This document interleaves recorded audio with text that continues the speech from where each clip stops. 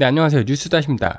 어저께 그 대검찰청에 대한 국정감사가 있었죠. 사실상 어저께 있었던 이 국정감사 같은 경우에는 혹시라도 있을 그 잘못된 수사 제도라든가 또는 정책에 대한 토론이 있어야 되는 자리였었고 특히나 요즘에 이 라임이라든가 옵티머스 이 사건 관련해 가지고 국민의 피해가 엄청났기 때문에 이 사건에 대해서 그리고 금융사기 사건에 대한 본질에 대해서 논의가 필요한 자리였으나 이 국정감사의 이러한 본질과는 조금은 다르게 완전히 그 윤석열 청문회가 되었습니다. 이 때문에 어저께 그 윤석열 총장의 국정감사를 시청한 많은 네티즌들은 지금 윤석열 총장을 눈에 가시로 여기고 있는 현재 집권 세력에서 윤석열 총장의 군기를 어떻게 잡을 것인가 이 부분에 대해서 굉장히 많은 관심을 모았고 실제로 어제 민주당 측에서도 국정감사에서 뭐 여러 가지 사건들에 대한 그런 질의보다는 윤석열 때리기에 집중하는 모습을 보여줬는데요.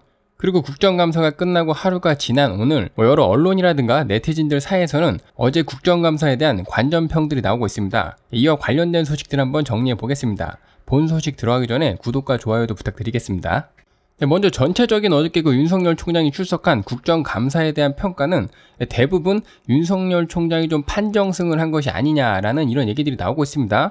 실제로 어제 국정감사 보신 분들 알겠지만은 윤 총장이 뭐 국정감사 출석을 해가지고 정말로 하고 싶은 얘기들을 뭐 거침없이 뱉어냈습니다. 아니 저도 제 말 하는 겁니다. 제가 한 뭐 작정을 하고 그랬는지 아니면 원래 이분의 스타일이 속에 담고 있는 얘기를 좀 이렇게 예쁘게 포장을 해가지고 이제 이야기하는 그런 방법을 몰라서 그런지는 모르겠으나 어제 윤 총장은 국정감사에서 정말 지금 벌어지고 있는 여러 가지 일들에 대해서 자신의 생각을 가감없이 그대로 날 것으로 이야기했고 이 때문에 여당 의원들하고 언쟁이 있기도 했었는데요. 그런데 많은 네티즌들이 어제 국정감사에서 특히나 재밌게 본 장면들을 많이 이야기를 하고 있는 상황인데 지금 많은 분들이 가장 많이 언급하는 것 중에 하나가 이 김남국이라든가 이 김용민 의원의 활약에 대해서 많이 이야기를 하고 있습니다. 이 두 사람의 공통점은 둘 다 이제 조국 수호를 좀 굉장히 열심히 했던 분들이죠.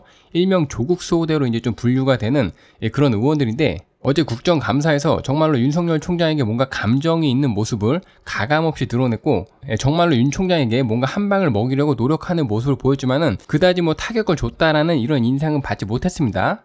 이 때문에 일각에서는 이 조국 수호대하고 윤석열이 붙었지만은 윤석열이 판정승했다라는 얘기도 나오고 있고 오늘 보도되고 있는 소식을 보면은 특히나 김남국의 공격에 대해서 굉장히 재밌었다라는 반응을 보이고 있는데 이 김남국 같은 경우에는 대표적인 그 조국을 옹호했던 의원으로서 사실상 이번에 그 21대 국회에서 금배지를 다는 것은 조국을 옹호했던 대가다라는 말까지도 나올 수 있을 정도로 굉장히 대놓고 조국 발악의 행보를 보였던 사람입니다. 그런데 이런 김남국이 어저께 국정감사 나와가지고 윤석열 총장을 때리기 위해서 정말로 적극적으로 공세를 펼쳤지만은 미안한 얘기지만은 별로 타격을 주는 모습을 전혀 보여주지 못했고 오히려 김남국이 공격을 할 때마다 그게 역풍이 불어가지고 일명 그 팀킬이라고 부르는 본인들 진영을 때리는 그런 상황이 몇 번이나 연출이 되었고 또 어떤 공격은 오히려 김남국을 웃음거리로 만들기도 했는데요.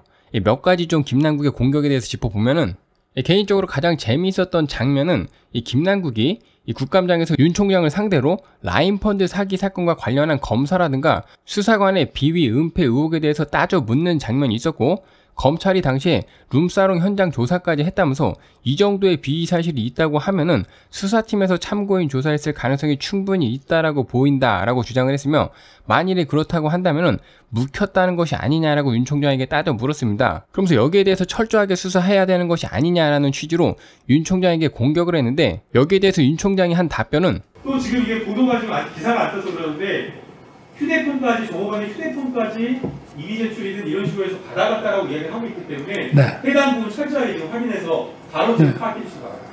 아니 제가 그렇게 하고 싶은데 지금 지휘권이 배제돼 가지고 이걸 할 수가 없게 돼 있습니다. 네. 제가 여기 관여하면 안 되거든요. 그러니까 제가 이거를 수- 철저하게 수사를 하려고 16일, 17일 연달아서 남부지검장한테 아주 독촉을 했는데 일단 빠지라고 하니까 제가 이걸 어떻게 해야 될지 모르겠습니다. 네.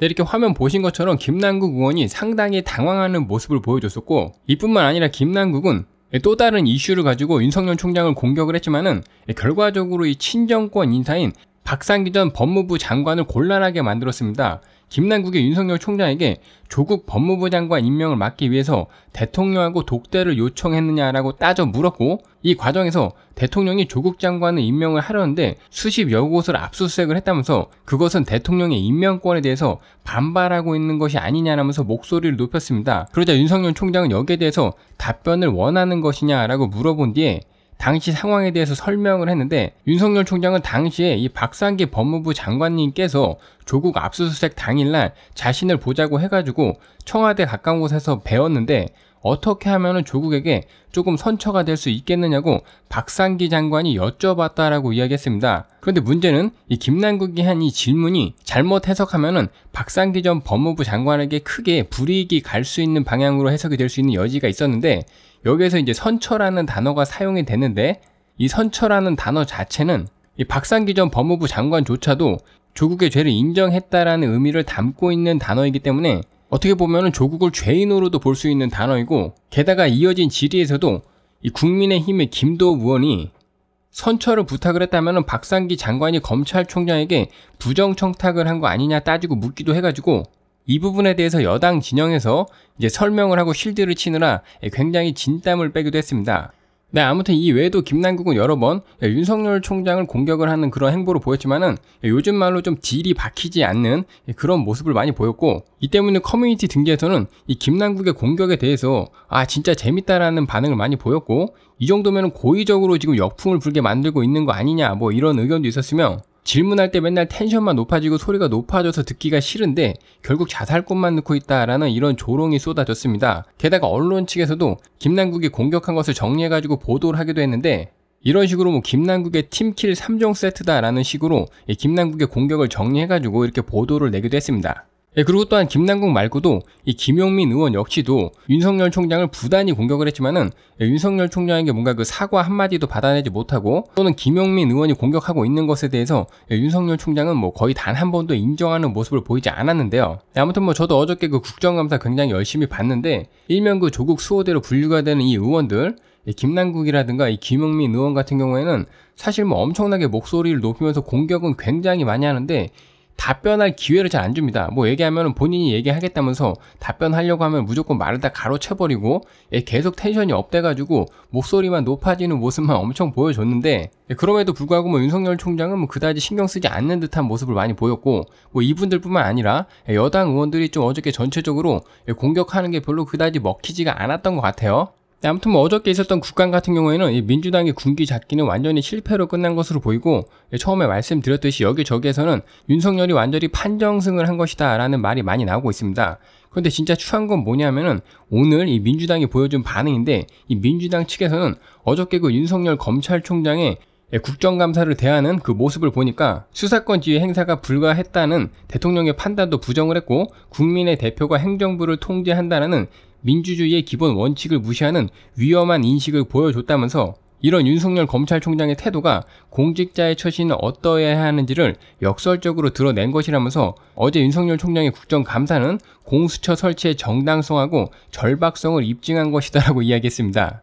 그러니까 한마디로 이제 기승전 공수처로 이제 연결을 시켜버린 거죠. 그런데 뭐 민주당 측에서 어저께 만일에 윤석열 총장이 본인들이 공격하는 거에 대해서 뭐 이렇게 굽신굽신 거리거나 또 인정을 하거나 사과하는 모습을 보여줬다면은 또 분명히 그걸 트집 잡아가지고 봐라 김봉현의 주장이 이렇게 맞지 않는가 지금 윤석열 총장하고 검찰은 이렇게 부패를 했다 그렇기 때문에 공수처가 있어야 된다 뭐 이런 식의 주장을 또 펼쳤겠죠. 어쨌든 뭐 결론은 정해져 있는 것이니까 뭐 민주당에서 내고 있는 이런 입장에 대해서 뭐 별로 놀랍진 않지만은 솔직히 좀 추하다라는 생각은 듭니다. 네, 이번 소식은 여기까지 하겠고요. 여러분의 의견은 어떠신가요?